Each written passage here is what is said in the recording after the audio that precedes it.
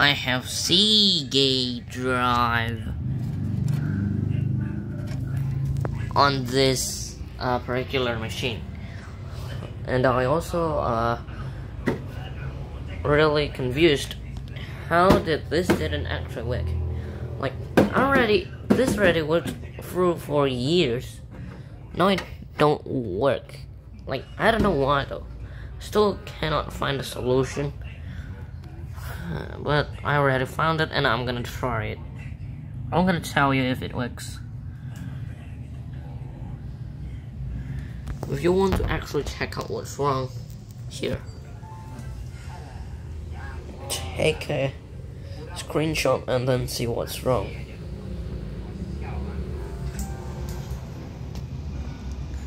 So, yes, this is actually pretty dusty though.